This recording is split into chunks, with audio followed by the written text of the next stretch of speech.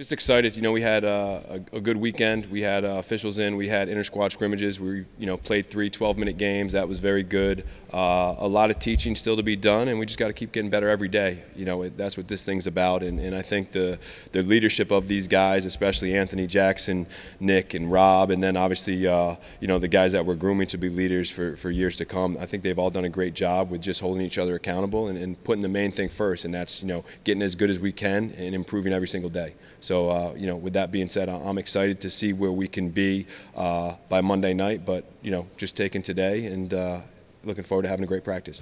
I mean, I'm really excited. I mean, I'm just ready to, you know, to play in front of everybody. We're ready to, you know, to prove ourselves because we're a whole new team.